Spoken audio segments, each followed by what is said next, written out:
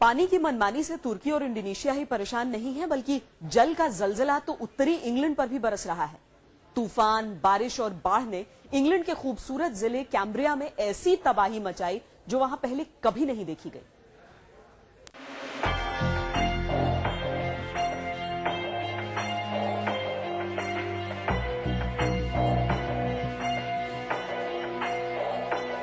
कुदरत गुस्से में है। इस गुस्से से बचना मुश्किल है। जिसने लड़ने की कोशिश की, वो मिट्टी में मिल गया। ये पानी का प्रलय है। जी हाँ, पानी फिर प्रलय मचा रहा है। पानी का ये तांडव मच रहा है ब्रिटेन के खूबसूरत कमरिया ज़िले में। अधिकारियों के मुताबिक उत्तरी इंग्लैंड में कुदरत का ऐसा कहर पहले नहीं बरसा था।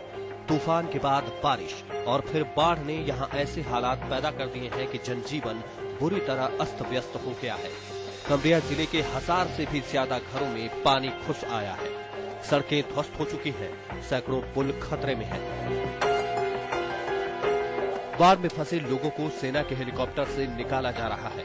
कमरिया ज़िले के लोगों से कहा गया है कि वो फ़िलहाल अपने घरों में ना लौटें, क्योंकि इससे उनकी जान को खतरा हो सकता है। ब्रिटेन के मौसम विभाग ने सिर्फ़ पॉकेर माउथ इलाके में 24 घंटों में 314.4 मिलीमीटर बारिश दर्ज की है। बाढ़ ने यहाँ ऐसी तबाही मचाई कि 1840 में बना कालवा ब्रिज देखते ही देखते ज़मीन पर आ गिरा। इस पुल के गिरने से उत्तरी इंग्लैंड का तटीय शहर वॉर्किंगटन दो हिस्सों में बट गया है।